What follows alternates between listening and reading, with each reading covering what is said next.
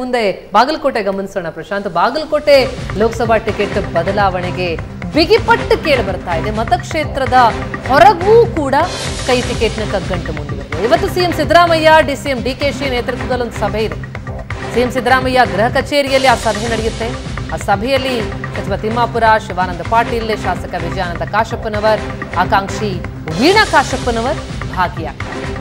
ಜಿಲ್ಲೆಯ ಶಾಸಕರಿಗೂ ಸಭೆಗೆ ಆಹ್ವಾನ ಕೊಡುವಂತೆ ಮನವಿ ಮಾಡಿದ್ದಾರೆ. ಟಿಕೆಟ್ ಆಕಾಂಕ್ಷಿಯಾಗಿರುವಂತಹ ವೀಣಾ ಕಾಶ್ಯಪ್ ಕಾಂಗ್ರೆಸ್ನ ಈ ಭಿನ್ನಮತಕ್ಕೆ ಸಿಎಂ ನೇತೃತ್ವದ ಸಭೆ ಬ್ರೇಕ್ ಹಾಕುತ್ತಾ ಅನ್ನೋದೇ ಸದ್ಯದ ಕುತೂಹಲ. ಎರಡು ದಿನದ ಹಿಂದೆ ವೀಣಾ ಕಾಶಪ್ಪನವರಿಗೆ ಸಿಎಂ ಕರೆ ಮಾಡಿದ್ರಂತೆ. ಟಿಕೆಟ್ ಬದಲಾಯಿಸದೆ ಹೋದ್ರೆ ಪಕ್ಷೇತರರಾಗಿ ಸ್ಪರ್ಧೆ ಮಾಡ್ತೀನಿ ಅಂತ ವೀಣಾ ಈಗಾಗಲೇ ಹೇಳ್ತಾ ಇದ್ದಾರೆ. ಬೆಂಬಲಿಗರು ಪಂಚಮಸಾಲಿ ಸಮುದಾಯದ ಸಭೆ ಕೂಡ ಈಗಾಗಲೇ ಕರೆದಿದ್ರು ವೀಣಾ. ಎಸ್, ಪ್ರಶಾಂತ್, ಏನನ್ಸ್ತಾ ಇದೆ ಬೆಳವಣಿಗೆ ನೋಡ್ತಾ ಹೋದ್ರೆ? ನೋಡಿ, ಈಗ ವೀಣಾ ಕಾಶಪ್ಪನವ್ರವ್ರನ್ನ ಬೆಂಗಳೂರಿಗೆ ಕರೆಸ್ಕೊಳ್ಳಾಗ್ತಾ ಇದೆ. ವೀಣಾ ಕಾಶಪ್ಪನವರು ನಾನು ಪಕ್ಷೇತರಾಗಿ ನಿಂತೇ ನಿಲ್ತೀನಿ ಅಂತಕ್ಕಂಥದ್ದನ್ನು ಗಟ್ಟಿಯಾಗಿ ಹೇಳ್ತಿದ್ದಾರೆ.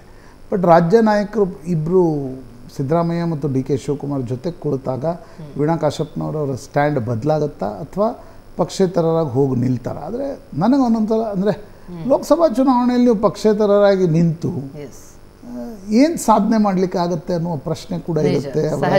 ಅವರ ಪತಿಯಲ್ಲಿ ಶಾಸಕರು ಕೂಡ ಆಗಿದ್ದಾರೆ.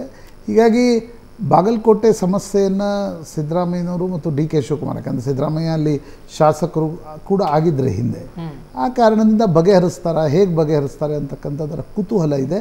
ಸಂಯುಕ್ತ ಪಾಟೀಲ್ ಅಲ್ಲಿ ಕ್ಯಾಂಡಿಡೇಟ್ ಆಗಿ ಈಗಾಗಲೇ ಓಡಾಡ್ಲಿಕ್ಕೆ ಶುರು ಮಾಡಿದ್ದಾರೆ. ಶಿವಾನಂದ್ ಪಾಟೀಲ್ ಪುತ್ರಿ. ಹೀಗಾಗಿ ಟಿಕೆಟ್ ಬದಲಾವಣೆ ಸಾಧ್ಯತೆ ಅಂತೂ ಇಲ್ಲ.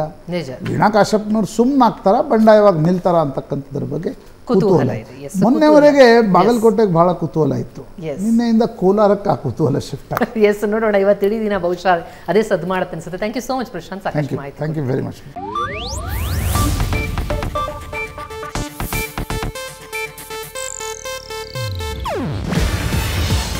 Asianet news network ಪ್ರಸ್ತುತಿ. ನೀವು ನೋಡ್ತಿದ್ದೀರಾ ಏಷ್ಯಾನೆಟ್ ಸುವರ್ಣ ನ್ಯೂಸ್.